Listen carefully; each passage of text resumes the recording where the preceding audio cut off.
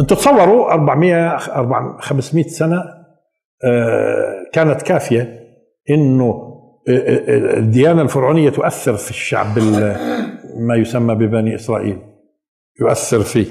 لأنه دائما دير بالكم القوي المتحكم عقيدته. لاحظوا مثلا الدول اللي استعمرها الأوروبيون بشكل عام دول العالم أكثرها تحول مسيحي. الدول اللي استعمرها استعمرتها أوروبا استعمرها الغرب أكثرها تحول مسيحي إلا في بلاد المسلمين. انهم المسلمين أقصد العرب. العرب مش سهل إنك تحولهم يعني. انسوا قضية الشذوذ هنا وهناك. آه، لكن العرب استعمروا لكن ما في شعب غير عقيدته من العرب. بس في مسلمين غيروا.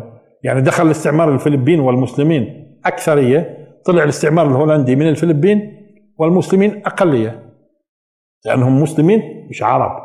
إيش يعني مش عرب ما بيفهموا الإسلام العربي العربي قرآن وسنة إيش إيش ما يفهم؟ آه.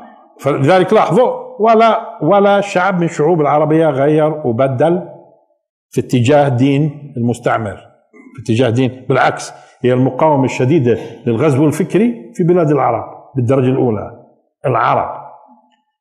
مش المسلمين بشكل عام آه، المسلمين في عليهم خوف اللي هم ما همش عرب.